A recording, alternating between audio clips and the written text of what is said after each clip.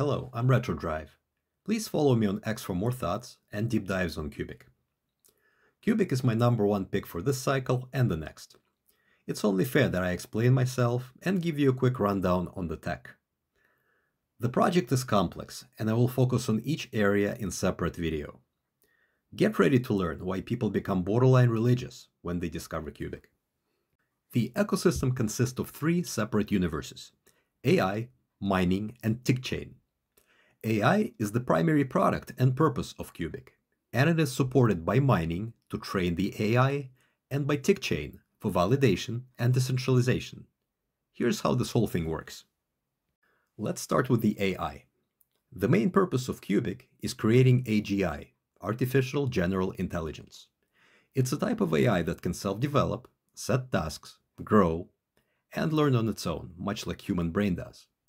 This product is called Aigarth, and it uses many cool ideas where AIs can create their own agents and have them compete against one another to evolve. It's basically robots creating robots with survival of the fittest evolution approach. Very impressive and thought out. To develop such an AI, there are several requirements that even the industry giants like OpenAI, Microsoft, and Tesla are missing. One of them is data processing for AI training. I mean, they have their data centers, but those are only good enough to train limited large language models, such as ChatGPT and Grok. Now, Qubic solves this problem with its mining architecture. Keep in mind, mining in a Qubic does not secure the chain. Primarily, it provides the processing power for training the AI.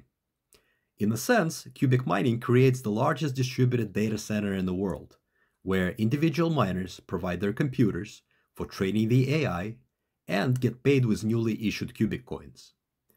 This way, Qubic gets constantly increasing processing power without really having to pay for the infrastructure. And here's another impressive bit of info. Qubic's distributed mining network currently ranks above the number one supercomputer in the world, El Capitan. I have calculations for you in the video description. The Qubic chain ties its AI and mining together to create decentralization the reward system for miners. It acts as a decision center for future development through voting, and it allows Aigarth to function independently through smart contracts. In this summary, I will not go over the specifics of Qubic Tick Chain. It's pretty complex, so it will be a separate video. Now, it's an absolute genius piece of tech, which I consider to be the most advanced product within crypto industry right now. It is important to know that Qubic Chain runs directly out of random access memory of its validators. It has instant finality, and it acts as its own operating system. That allows for speeds only bound by current hardware capabilities, and it only increases as technology progresses. As I am recording this, Qubic TickChain is fully functional, and it already hosts several decentralized Web3 applications. Qubic Chain is engineered to be this fast for a single purpose to give its future AI the speed it needs to evolve and to react quickly to the outside world. Ilya Sutskever, the scientist who developed ChatGPT, clearly states that next generation superintelligence will make decisions in split second with less data. I believe Qubic is that next generation. So, out of the sea of AI projects in crypto, why is Qubic my number one pick? Well, the first reason is that Qubic is a unicorn AI startup that happens to use blockchain technology to reach its goals. In the real world of venture capital, it would be fully funded instantly, and you would not get invited to that funding round. The second reason is that the industry admits that large language models have plateaued. Even with enough processing power, there is only so much information they can add to their data.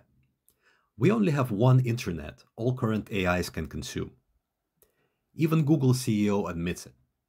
New approach is needed because the breakthrough progress is not possible with current technology. The third reason is because large language models will not create true AGI. It is evident by Ilya Sutskever's latest presentation.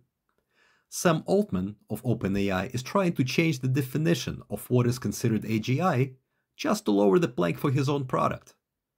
Microsoft's AI chief is now claiming that it would take 10 years to reach AGI, while Qubic aims to do it in 2027. All these big players are using wrong technology for what they're trying to achieve. And the problem is that there isn't enough investor funding for them to pivot. The fourth reason is that Qubic is headed by Sergey Ivancheglo and two renowned AI scientists. Many claim Sergey is the creator of Bitcoin. At least he is one of the top candidates. He was the third person to mine Bitcoin. He invented proof of stake consensus, which Ethereum uses right now. He ran the first ICO. He created two of the top gainers in crypto industry, NXT and IOTA. Qubic is his grand finale after 12 years of development and trials. I am including links below the video as proof of my claims. None of this is financial advice, but my own opinion. Thank you for your time. Please give me a like or a comment.